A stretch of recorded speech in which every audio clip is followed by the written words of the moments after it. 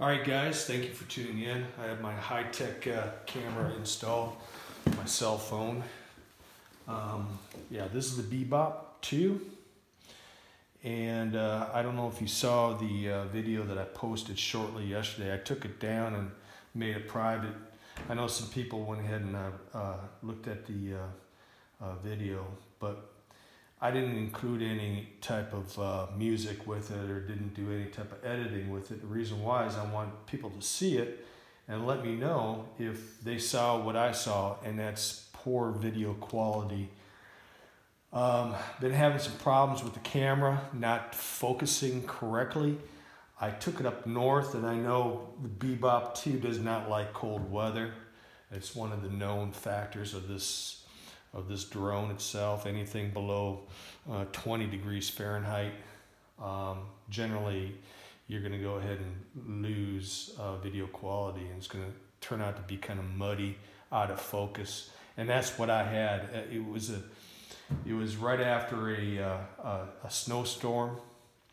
Um, the, the next day I took it up, it was cold, but it was beautiful. I mean, the snow crystals, the, how the light was hitting them. I was like, man, I'm going to get some fantastic video. I didn't. Uh, I didn't even bother posting that video. I was really disappointed in the quality of the camera. And I did some research and and uh, and I ended up ordering a new camera for this just in case the accident that I had when I cracked the uh, cross frame on this uh, drone damaged the camera. I ordered a new one just in case. I'm waiting for the postman to deliver that. Um, as soon as I get it, I'll get it installed and see if that corrects the video quality because right here, yesterday I flew it, it was 58 degrees Fahrenheit. Um, should get excellent video quality and that's the video that I posted yesterday the video quality, what I saw, some pieces were in focus, some pieces were out of focus. It's just not correct in the focusing ability. Uh, it's just not shooting perfect quality video like a 1080p camera should, like it did in the past. Um, so as soon as I get that in, waiting on the postman to deliver it. Everything's behind right now because of the Christmas catch up. Uh, as soon as I get that in, I'll get that installed. Shouldn't take very long. Just a couple, of screws here, and you pull off the uh, this canopy right here, and uh, replace, uh, take off the GPS board, and you replace the camera. And it should only take me maybe about 10 minutes to do that. Um, but today, in the meantime, what I ordered a long time ago, um, before I cracked my cross member, is this hunk of carbon fiber right here I bought this because one thing I'm not really too keen about on these uh, Bebop frames is how flexible they are.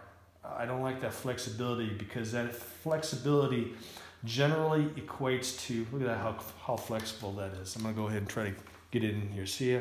Look at that. I'm, I'm, I'm actually putting no force on that whatsoever. And that flexibility really, and this is a a Parrot Bebop 2 replacement frame that I have on here. And that's how much flexibility is on this thing. And with flexibility, you're to get some jelloing in your video. And unless you're flying really slow and smooth, you know, sometimes you, sometimes if you want to get to an object quick enough, you want to put it in sport mode and be able to film with all that jelloing in there. And this uh, carbon fiber, I know carbon fiber you have to be careful with because carbon fiber that does shatter like glass, but I know that.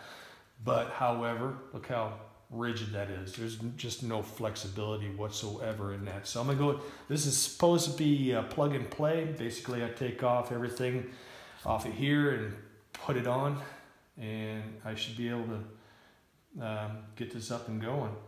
Um, I won't go ahead and bore everybody with the uh, um, uh, the install of this. There's plenty of videos on on YouTube, which uh, in fact Parrot on Parrot's site ha has a fantastic video on how to take everything off and replace a cross frame. So there's plenty of videos out there. So I'm not going to bore everybody with that, with the miracles of video editing. I'll come back and boom, this is going to be on there. However, if my camera does not work, at what point do I cut my losses? So far, I have gotten, I have a lot invested in this with the batteries, the bag, uh, replacements of cross frames, propellers. at what point do I cut my losses? That's my number one question. What, at what point do I cut my losses and say and wash my hands of the Bebop 2? I'm not giving up yet. Hopefully the new camera, hopefully the new camera will work out. We will, we will see. And when I come back, the new cross frame will be on here. So uh, stand by. All right, sorry about the uh, mess in here, but this took a lot of fiddling to get this in here because all the uh, the wire management actually runs throughout these through these arms and you have to precariously place the uh, engines on here to get them tightened down. Don't do uh, all three, or don't tighten down one screw at one time, because after all, you have three screws to uh, put in place. Um, but uh, once they're on here, um, you can just go ahead and attach the wires in there. It was like a, a lot of fiddling. Lots, lots of work to get this carbon fiber frame on here. I probably should just uh, kept recording, but have been an extremely long video if I've done that. But I got everything in place, got everything on. Next step is uh, take this up for a, a test spin. And this is a uh, carbon fiber frame placed on my Bebop 2. So uh, there you go. Test flight of the uh, Bebop 2 with carbon fiber frame.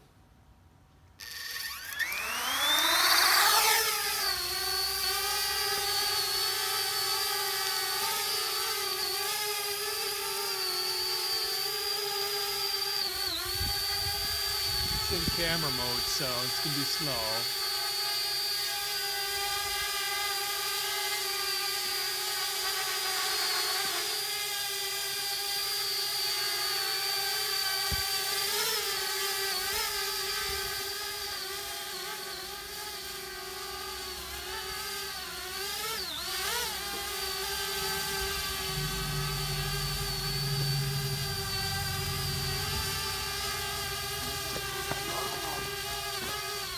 Bring down so you take a look at it.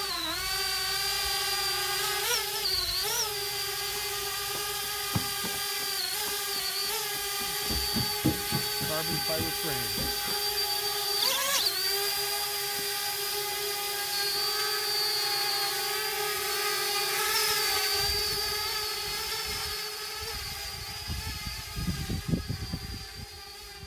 Windy today.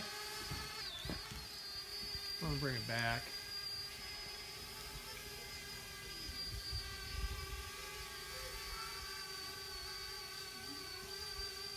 This video is what I'm trying to, uh, hopefully I get that camera today. I hate to do all this to this uh, bebop without having a decent camera on it. Fly is really good. Let me take, let me take this out of camera mode get this into uh, sport mode so I can get around here a little bit quicker. There you go.